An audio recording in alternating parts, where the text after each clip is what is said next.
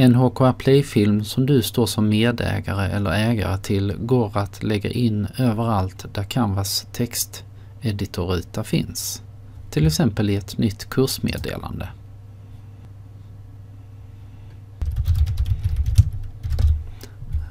Skriver jag en titel och en rubrik.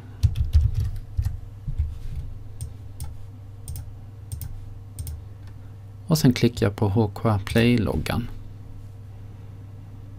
Och så väljer jag en film. Och så klickar jag på Select. Vill jag lägga till ytterligare filmer så klickar jag på Enter och klickar på HKA Play-knappen igen. Jag är nöjd.